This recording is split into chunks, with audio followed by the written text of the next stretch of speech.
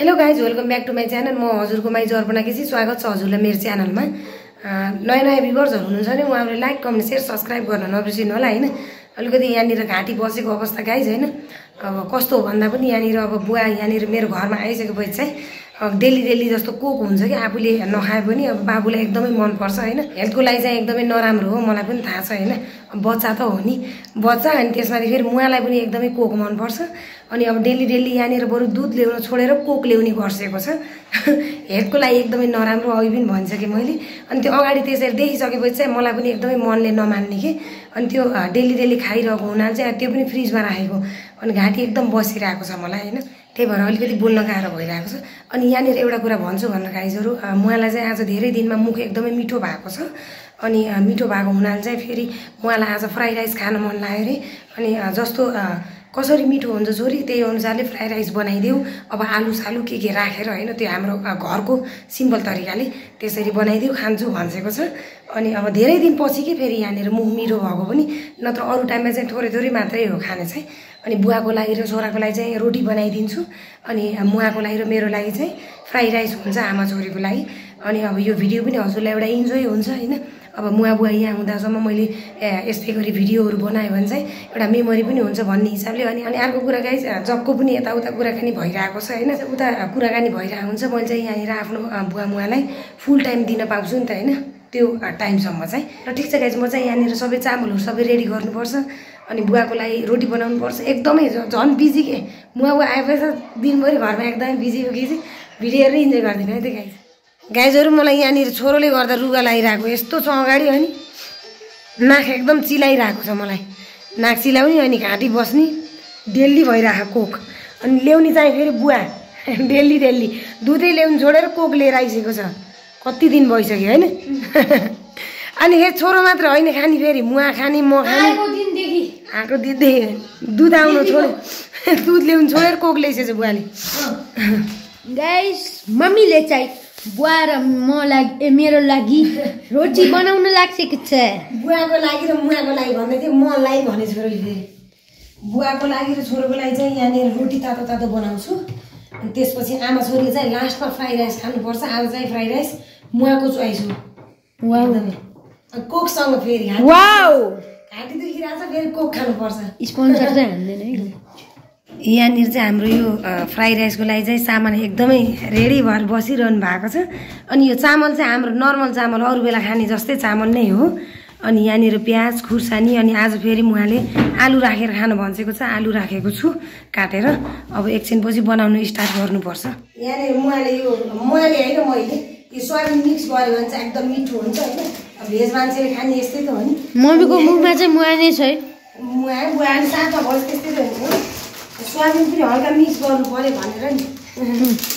मिठो हुन्छ मलाई मिठो लाग्छ एकदम। गाइजहरू यो चाहिँ अब फ्राइड राइसको लागि एकदमै यो हाम्रो भेजिटेबल रेडी हुँदै हुनुहुन्छ होइन? आलु अनि प्लस त्यसमा प्याज अनि त्यसपछि सोयाबिन। यति नै थियो घरमा अनि यति मात्रै मैले यो भेजिटेबलहरू मिक्स गरेको छु होइन? अनि बुवाले पनि यो बनिसकेपछि ट्राई गर्छु भनिसकेको छ होइन?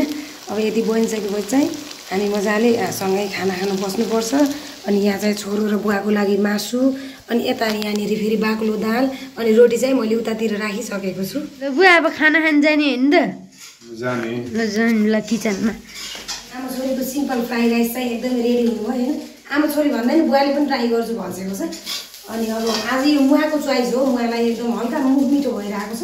त्यो उनीहरू चाहिँ फ्राई राइस खान खोज्दै गरौँ भनेर होइन अब चाहिँ सबै चिज रेडी भयो। अब खान बस्नुपर्छ।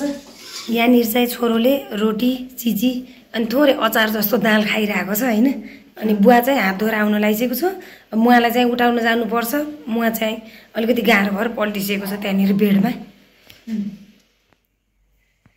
मुवा चाहिँ यहाँनिर मुवा फ्राई राइस रेडी भयो। आइस हस् छोरोले खाँदैछ। हजुर। ए हस् हस् म आउँछु। छोरोले खाँदैछ मुवा अनि बुवालाई दिन्छु हजुर आइसो। छोरोलाई यहाँनिर मैले कोक दिन बिर्सेको रहेछु होइन? ल खै मम्मीलाई थ्याङ्क यू भनेर कि आज? थ्याङ्क यू वेलकम यहाँनिर चाहिँ बुवाले भर्खरै खाँदै होइसिन्छ अझै मुवा आउन बाँकी छ। यहाँनिर मुवाको आज मुख अलिकति हल्का मिठो भएको छ त्यही भएर भाँडा पनि बजिरहेको छ।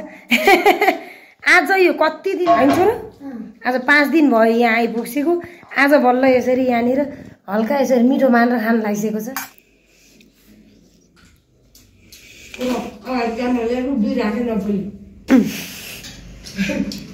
कस्तो मजाले खाइदिएको छ कति दिनमा?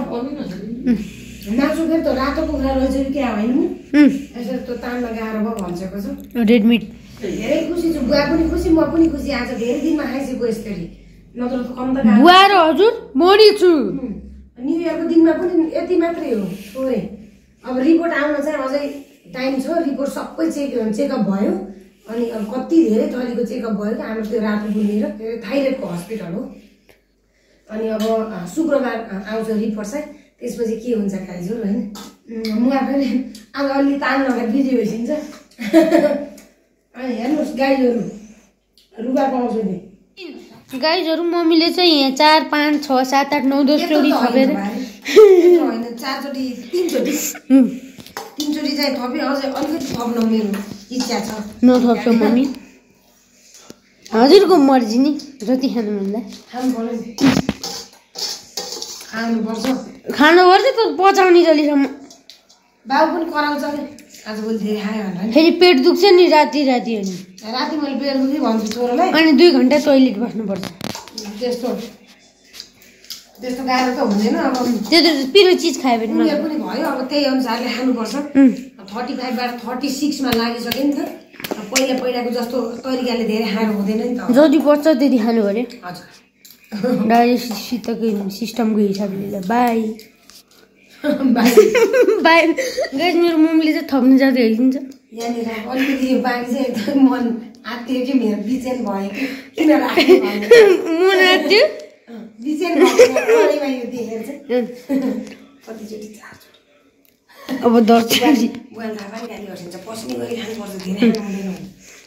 गाइजहरू खाइसकेपछि चाहिँ एकदमै चल्न नसकेको अवस्था हुन्छ मलाई फेरि होइन?